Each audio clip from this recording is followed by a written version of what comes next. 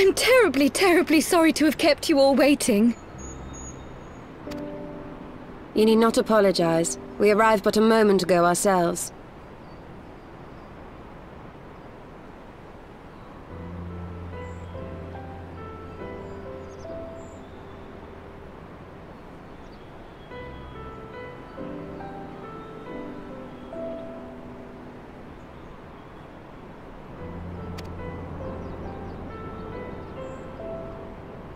Pray, allow me to introduce Krile, who has recently come from the Sharlayan motherland.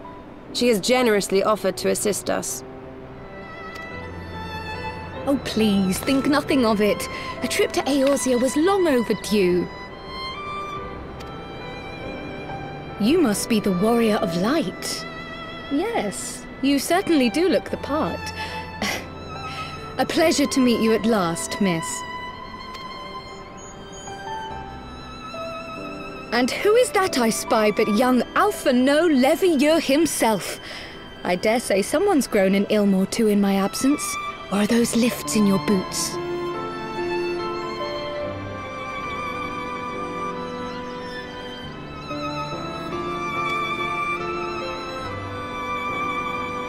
We, um...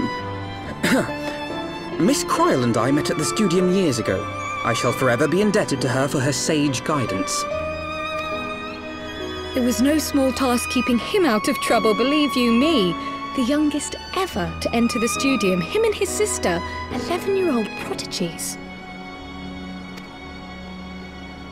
Suffice it to say, social graces were not among his list of talents.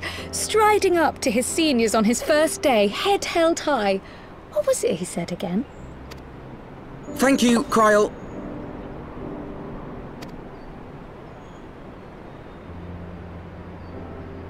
What? I haven't finished yet. Would you care to attempt a more dexterous deflection?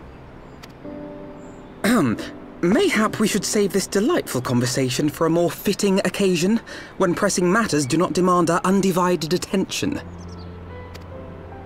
A bit much, but better. I can tell you have been putting your skills to use here in Eorzea.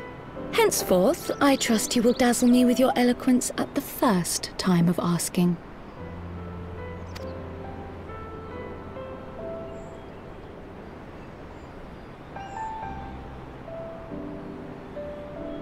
Right, on to more pressing matters.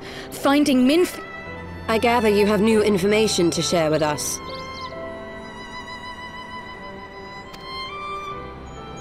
A new approach, actually. Tataru recounted the tale of your escape, and it gave me an idea. Simply put, assuming Thancred left some manner of trail when you whisked him away, as is almost always the case with teleportation magics, I am confident I can find and follow it. Then what are you waiting for?